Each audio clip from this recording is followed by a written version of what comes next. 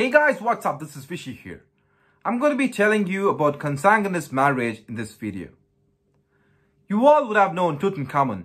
He was one of the most popular pharaohs who became the king when he was 9 years old and he died at the age of 19 after ruling for 10 years. Contrary to the popular belief that kings are very strong, he was tall but he was physically frail with a crippling bone disease in his club left foot. He is the only pharaoh to have been depicted in a seated position while engaging in activities such as archery, traditional inbreeding, which means marrying inside the family has contributed to his weak stature and his early death. DNA tests performed in 2010 revealed that Tutankhamun's parents were brother and sister and he married his half-sister too.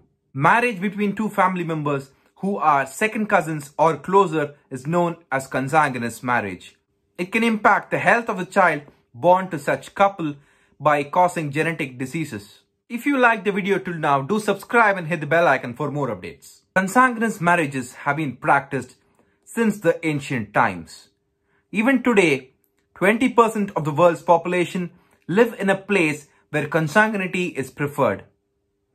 The rates of consanguinity vary drastically with different religions, race, cultures, and the geographical location. There is an important cluster of countries associated with high levels of consanguinity.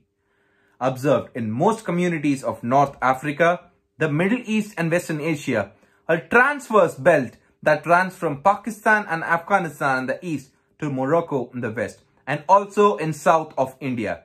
Noticeably, many Arab countries display some of the highest rates of consanguineous marriages. Consanguineous marriages are more prevalent in rural than urban areas.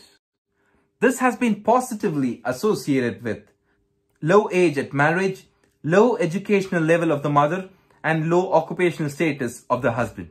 Parental consanguinity increases the autosomal recessive conditions, especially by increasing the expression of the autosomal recessive deleterious alleles, which is high in the case of the first generation cousins. Parental consanguinity has been associated with high rates of pediatric conditions such as stillbirths and perinatal mortality, congenital birth defects, malformations, and mental retardation blood diseases such as hemophilia and alpha thalassemia, cystic fibrosis, chronic renal failure, and neonatal diabetes mellitus.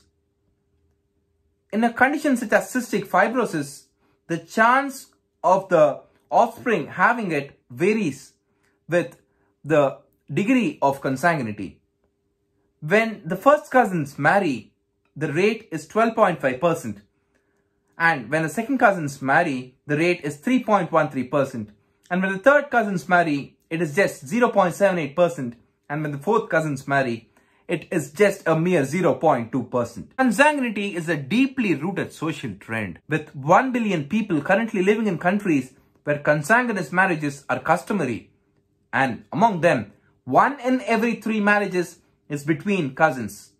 The rising public awareness on possible preventive measures for congenital disorders has led to an augmentation in the number of couples seeking preconception and premarital counseling on consanguinity.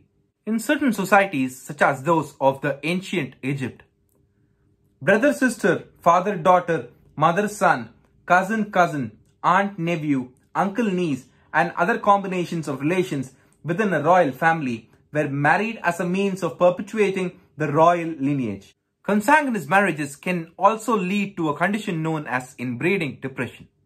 With the example of a horse, let me explain to you what is inbreeding depression. Consider A to be a dominant trait.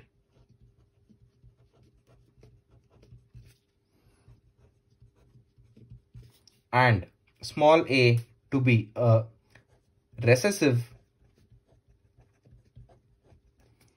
deleterious trait.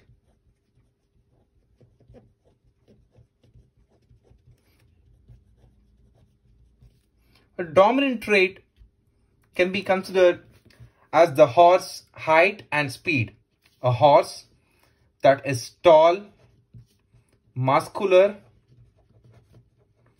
and runs fast. And a recessive deleterious trait can be considered to be a weak, fragile, slow horse. So, there is a horse that has a capital A and a small a. The small a trait is expressed only when both the alleles are of small a. So, this horse mates with a horse that has both the alleles to be capital A. The first horse born out of the mating of these two has a capital A and a capital A. The second horse has a capital A and a small a. The third horse has a capital A and a small a. And the fourth horse has a capital A and a capital A. So, this is where inbreeding takes place. These two horses mate. Now, a horse has capital A and capital A and another horse has small a and small a. This horse is weak, fragile and slow, which shows that inbreeding can bring out the recessive deleterious trait. Consider this horse outbreeds with another horse that has a capital A and a capital A. The result of this combination is a horse with a capital A and a small a, which is normal. The normal ho horses here are all except this one. This one has a small a and a small a. This horse born out of inbreeding is weak, fragile, and slow, which is not considered to be a positive trait for a horse. Whereas when outbreeding is done, the recessive trait doesn't come out that easily. This is a normal horse.